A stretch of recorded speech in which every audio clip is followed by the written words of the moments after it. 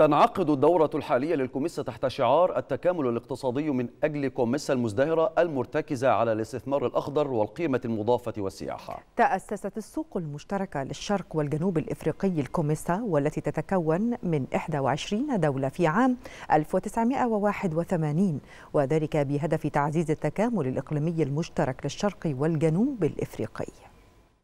بهدف تعزيز التكامل الإقليمي المشترك للشرق والجنوب الأفريقي من خلال التجارة وتنمية الموارد الطبيعية والبشرية لتحقيق المنفعة المتبادلة لجميع شعوب الإقليم تم تأسيس السوق المشتركة للشرق والجنوب الأفريقي الكوميسا والذي يتكون من 21 دولة كأعضاء في السوق المشتركة.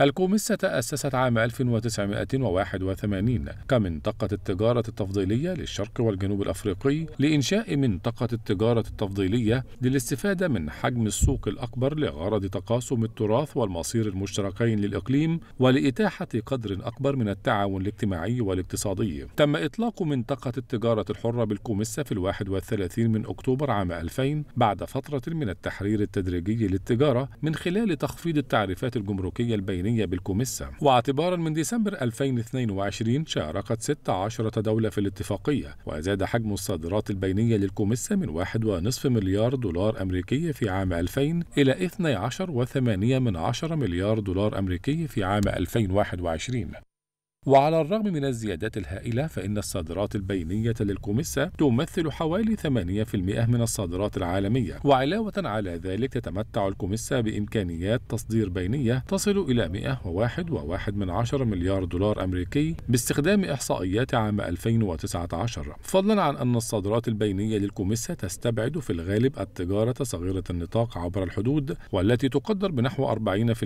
من إجمالي التجارة. وتشمل أهداف نظام التجارة المباشرة المبسط تمكين صغار التجار من الاستفادة من نظام التجارة الحرة للسوق المشتركة وإضفاء الطابع الرسمي على التجارة غير الرسمية عبر الحدود وتبسيط التجارة والجمارك لصغار التجار.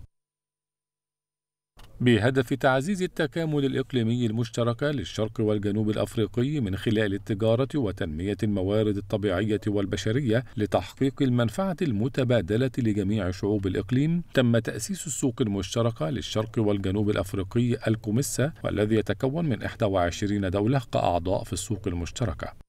الكوميسا تأسست عام 1981 كمنطقة التجارة التفضيلية للشرق والجنوب الأفريقي لإنشاء منطقة التجارة التفضيلية للاستفادة من حجم السوق الأكبر لغرض تقاسم التراث والمصير المشتركين للإقليم ولإتاحة قدر أكبر من التعاون الاجتماعي والاقتصادي. تم